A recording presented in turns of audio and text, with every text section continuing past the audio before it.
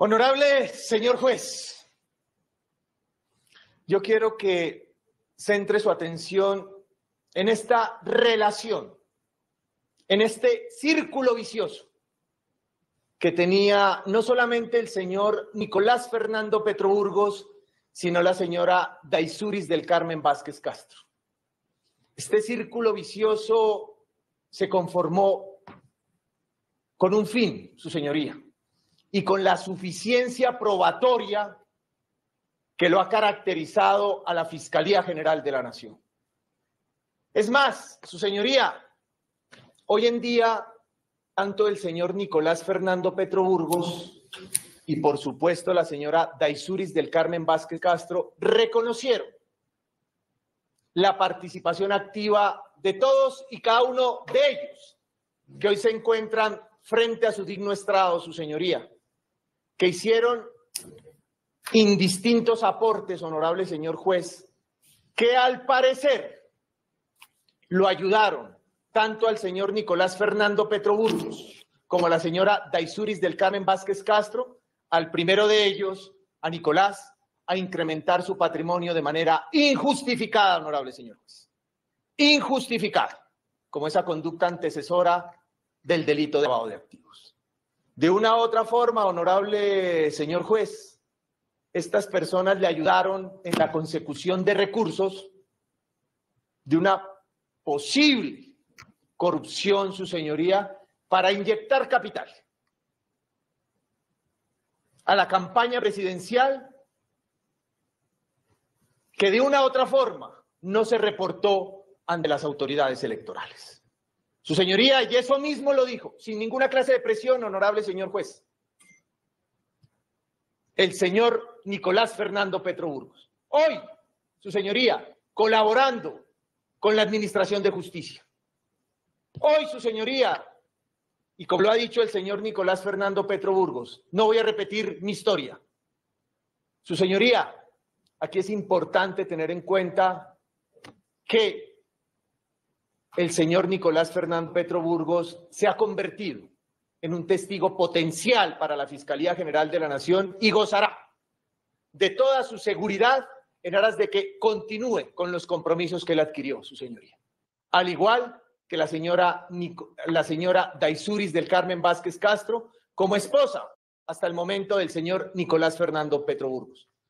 Honorable señor juez, es que aquí la Fiscalía General de la Nación no se vale de especulaciones, de lo que dicen los medios, no, su señoría. Suficiencia probatoria que de una u otra forma relaciona a todos y cada uno de ellos con Nicolás y con la señora Daisuris. Máxime cuando el señor Nicolás indicó un aporte trascendental en esa campaña presidencial del año 2022.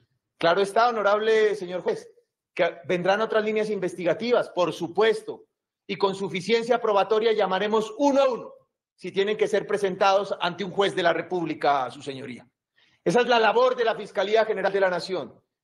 Por mandato legal y constitucional le han encaminado ello, honorable señor juez.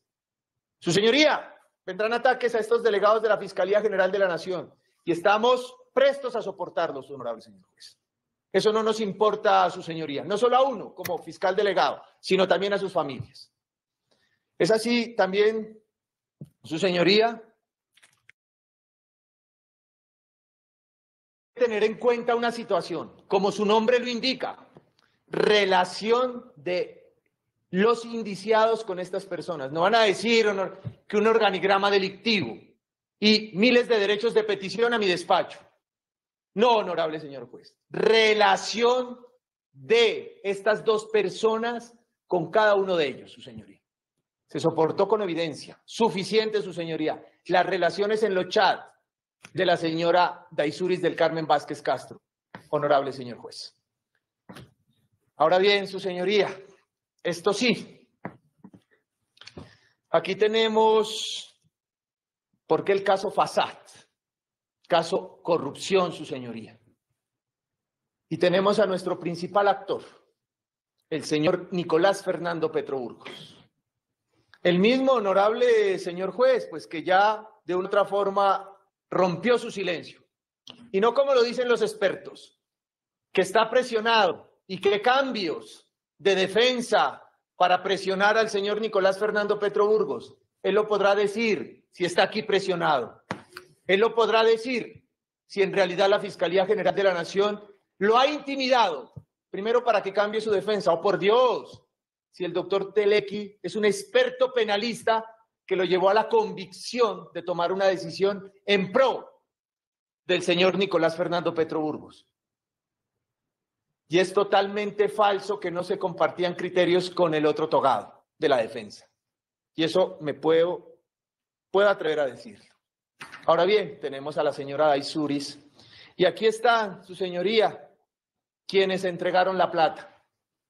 Y esas personas que entregaron la plata financiaron, su señoría, de una u otra forma, no solo el incremento patrimonial del señor Nicolás y de la señora Daisuris, que está aquí también al lado del señor Nicolás, sino antes por el contrario, honorable señor juez, estas personas al inyectarle capital al señor Nicolás, de una u otra forma, ingresaron dineros a la campaña presidencial de nuestro actual presidente, el honorable presidente Gustavo Petro. Su señoría, aquí tenemos al señor Cristian Dae, tenemos al señor Euclides Torres, al señor Pedro Flores. Vamos a dar apertura. Ah, perfecto, donde correlaciona. Al señor Máximo Noriega, al señor Gabriel Ilzaca, a Santander López Sierra, el hombre Malboro, honorable señor juez, a Jorge Roballo, Mónica Quique López Sierra, a nombre de quién está el Mercedes, honorable señor juez, Blanca Gutiérrez, Pedro Name, Gustavo de la Osa, César Emilio Vázquez Tío, de la señora Daisuris, Camilo Burgos, Germán Londoño y quien hizo los contratos, Raimo Monta. Señoría, sin la colaboración de ellos, el señor Nicolás ni la señora Daisuris no pudiesen incrementar su patrimonio de manera injustificada. Y esto que sirva como conducta antecesora de lavado de activos para blanquear de una manera los bienes. Usted miró la trazabilidad, el antes, el durante y el después, honorable señor juez, de todos y cada uno de los bienes, su señoría. Y hasta el momento se están ocultando. Hasta el momento se encubren, honorable señor juez. Es así que considera el delegado fiscal que vamos a pasar al siguiente aspecto en concreto. Ya vamos a dejar de compartir pantalla para que. Sobre el requisito, su señoría, de la inferencia razonable de autoría o participación, que a juicio de este delegado, salvo mejor criterio, honorable señor juez, pues ya se ha venido desarrollando punto a punto. Pero dirán los expertos, no hay que cumplir, no hay que confundir lo que es el hecho jurídicamente relevante con el hecho indicador. Y así lo dirán en los Twitter. Su señoría, vamos a pasar entonces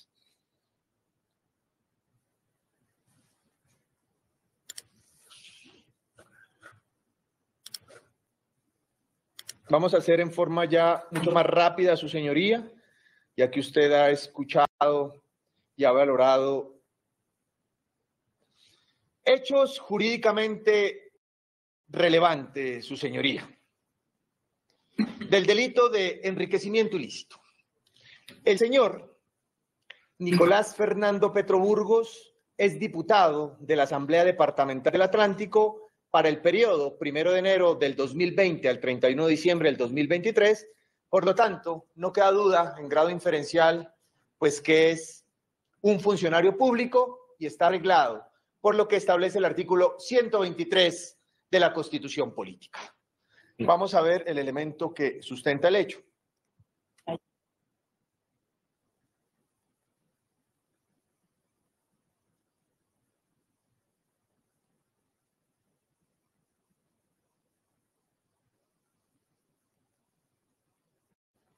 Si están observando, honorable señor juez, y con su venia me permita, una vez se vaya detallando hecho a hecho, relacionándolo con el elemento para ya no terminar con ese primer requisito que eso nos exige. Se está observando nuevamente la presentación que está haciendo, doctor. Continúe, por favor.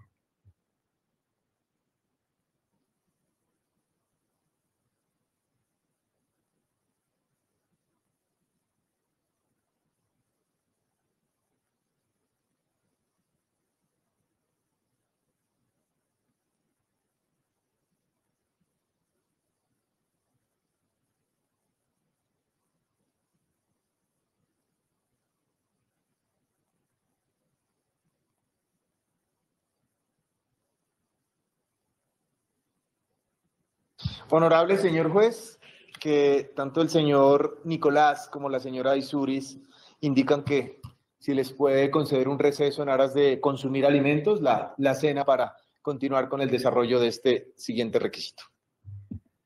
Señor fiscal, eh, ¿cuánto cree usted prudente ese receso para provisionar alimentos? Unos 15 a 20 minuticos, honorable señor juez. Bien, doctor, vamos a tomar 20 minutos, son las 9 y 18. Eh, vamos a arrancar a las 9 y 40. Siempre tomamos 5 o 10 minutos y demoramos mucho más. Entonces, eh, aprovechemos esos 22 minutos. Así las cosas, eh, se suspende para los efectos indicados, siendo las 9 y 18 horas de la noche.